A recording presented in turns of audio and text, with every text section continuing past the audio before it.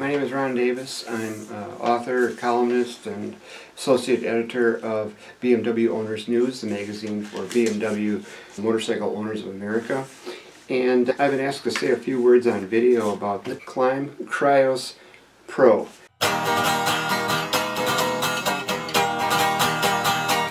I wrote a story about this when I first got it last winter, just some first impressions. And now I've had a chance to use the helmet on and off-road a little bit this summer and ready to make a few more comments about it. The first thing that occurs to anybody when they pick up this helmet is how light it is.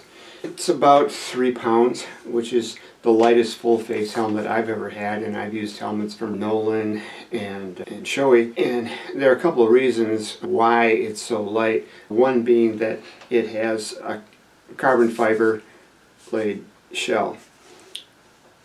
Another thing that makes it lighter, I think, is, I don't know if you can see it, but there are some still pictures which show it also, is the liner inside is not your usual polystyrene liner that most other helmet manufacturers use to absorb impact. This uses something called Koroyd, Koroyd and it's a kind of a honeycomb polycarbonate liner which crushes on impact and actually absorbs, uh, reportedly anyway, reabsorbs more of an impact than the polystyrene liner does and that also makes the helmet lighter. It's the same uh, liner that's used on uh, F1 driver helmets and uh, fighter pilot helmets and some bicycle helmets are using it now. I really think that's uh, a coming thing and this more than exceeds safety uh, regulations for helmets right now, and I think it anticipates the raising of those standards later on. So it's a light helmet. One of the consequences of being a lighter helmet, I think, and maybe also this special liner, is it is a little noisy, I've found, for wind noise. I would compare it maybe to one of the lower end flip-up helmets as far as noise. Maybe the liner contributes to this. However, I use earplugs, so it's not that big of a concern to me, but it's something to think about. Being a little bit lighter, it might be a little more reactive to wind.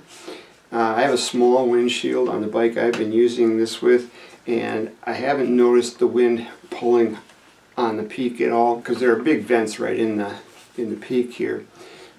However, when I was riding one day and there was a strong side wind, I noticed it was kind of pulling this way. And maybe being a little bit heavier, it would have more resistance to that. So that's something to think about. Some things I really like about the, uh, the helmet, other than its weight, is this visor. The Krios comes with two visors, a perfectly clear one and a polychromatic transitions lens. Some people may not be fond of those, but I love this transition lens. I haven't had any problems going in and out of shadows of it being too dark in its, in its full darkest shade. And as far as changing with the conditions, it takes a minute or less for this lens to go from perfectly clear to its darkest setting. So it's just so convenient and being a glasses wearer, you don't have to switch between sunglasses and regular glasses to compensate for the sun. There has been some discussion that when you're wearing this with the face shield up, sun comes through in these ports here, and so when you pull it back down, you get some black splotches. That's true, it does happen, but it takes less, once you pull the face shield down, it takes less than a minute for those to dis disappear and for the face shield to become uh, uniformly shaded. So to me, that's not a, a concern either. Another thing I, I, like about the helmet is this is another thing that makes it kind of revolutionary, and that's this Fidlock clasp. Instead of a D-ring, this just clips in, just like that. And it uses a magnet to pull itself together, but once it's clipped in, it's not coming apart. The only way to release it is to pull this red tab. And I found that it took a while to get used to that, but I've developed a few tricks to get it on and it only takes a second. It's just as convenient, if not more so, than uh, D-rings. Inside of the helmet is quite plush. I found it very comfortable. It's I get this helmet in a medium and I find it comparable to a medium in a Shoei or an Arai. It fits me just fine. As far as ventilation, I've been using it lately in some hot weather, so I've been able to kind of judge how cool it stays. It has massive front intake vent, which are, you can really feel the wind coming across your face, and lots of vents to pull that air out. There are four in the back and venting ports on the front. There is an intake vent on the top of the helmet, which isn't very big, and I really can't say I can feel a lot of hair moving across, not a, a lot of wind moving across my scalp, and I would feel it if it was coming. I think that could be larger. There's just one setting, open or closed. Incidentally, on the face shield, it does have detents, so you can have the face shield just a little bit open if you want. I think there are two, and then it's totally open. As far as the finish of the helmet, to me it's very attractive. It comes in a number of different designs and solid colors. As far as going on-road, usually what I've done is take off the peak.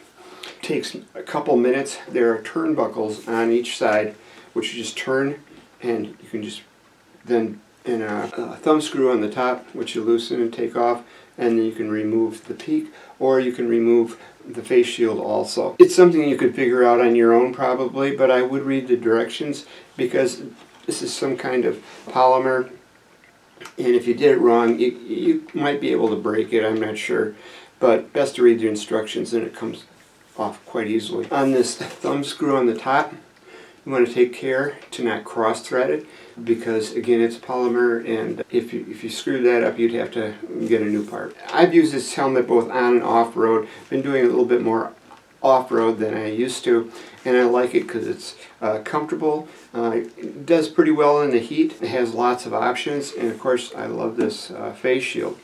It's a little pricey. It's over $700 for this helmet. Any kind of adventure rider or somebody who likes to ride off both on-road and off-road might want to consider taking a look at this. I, I think you'd be happy with it.